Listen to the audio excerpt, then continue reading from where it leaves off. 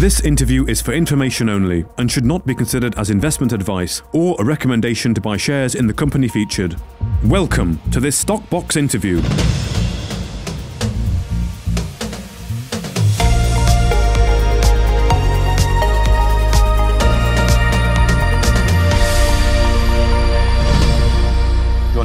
Today is Tony Hamilton, the CEO of Georgina Energy, following an announcement from the company that they are raising £5 million for the IPO onto the LSE.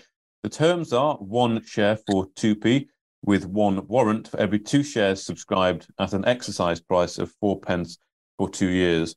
And this money will cover the drilling of the first well, that's the Hussar well, where the company is targeting helium, hydrogen, and natural gas. Thank you very much for your time today, Tony. How are you doing? Yeah, I'm great. Thank you very much. Well, thank you for joining us. Could you perhaps just give uh, refresh our memories on the investment case for Georgina, what you're all about, and with this money, what will you use it for? Um, essentially, uh, Georgina's been uh, operating as an oil and uh, as a oil and gas company, but predominantly helium, hydrogen, and natural gas uh, since uh, 2019. And uh, our aim is to re enter two wells, one in Hussar and one in Mount Winter, uh, which are both recorded uh, gas, but were shut in because they originally drilled for oil, with the intention of bringing them in, back into production to produce helium, hydrogen, and natural gas. And really, what you're targeting here is early cash flow, is that right?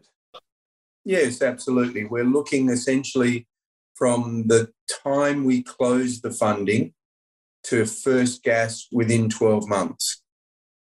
First gas within 12 months. Okay, excellent. And from historical data, you're pretty confident, aren't you, that there's a, there's a fair amount of resource down there, but obviously you have to uncap the well, get drilling, and actually find out what is there.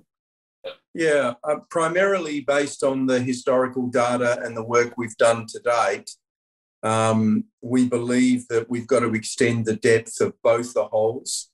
Um, one a hole, I think, by 750 metres, and the other hole by 1160 metres, which will then penetrate the Heavitree formation, which uh, in both the Amadeus and the Officer Basin houses uh, traditionally high percentages of helium and hydrogen and natural gas.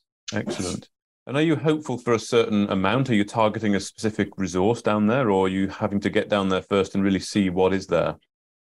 Um, look, I, I, I think that there's a there's a research note that was mm. uh, put out uh, recently by um, I can't think of the name now. DW Intelligence. DW yeah. Research, yes, that's right. Yeah, and um, and they actually they put a, and this is a unrisked 2U or P50 if you're old school, uh, 303 BCFG of helium, 308 BCFG of hydrogen, and just under three TCFG of natural gas. So they're pretty pretty reasonable and robust numbers.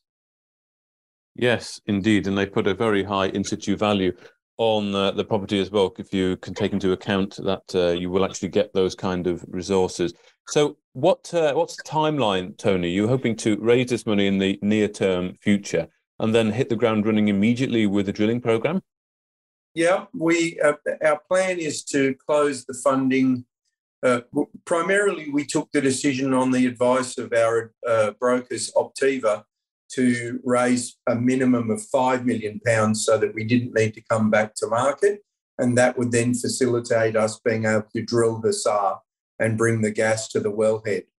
Um, and obviously, uh, the current circumstance, largely thanks to the banking sector, has caused a little bit of a hiccup in the marketplace. But we continue to have a very strong retail interest a very strong high net worth and uh, family office interest. So um, we're still very confident that we will get to where we want to be. Um, unfortunately, then, of course, we're running into Easter. But again, our plan is definitely to have it all wound up by the end of April. Okay, have it all wound up by the end of April. Okay. And then would you plan to get on the ground almost immediately? Um, no, there'll be a certain amount of permitting required. and a whole lot of planning and contracts and work that needs to go into uh, preparing for that before we ultimately mobilise. But our plan would be from the date we close the financing and list, we would expect to have uh, bring gas to the wellhead within 12 months. Okay, excellent. So hopefully a fairly rapid turnaround there. The key thing that people must remember is that Georgina is an operating company. And so we're not standing still. We are actually ongoing. We're working. We're uh, from an engineering standpoint, from a native title, from a permitting, from a every aspect that a normal operating company would do. Uh, we are continuing to do. Okay. In terms of the IPO, then, how can people get involved? You've said there's a lot of interest there from retail, which is fantastic. But if people do want to inquire, what's the best route for them to go down? Uh, primarily to contact Optiva.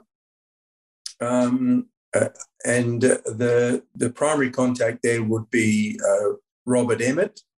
Okay.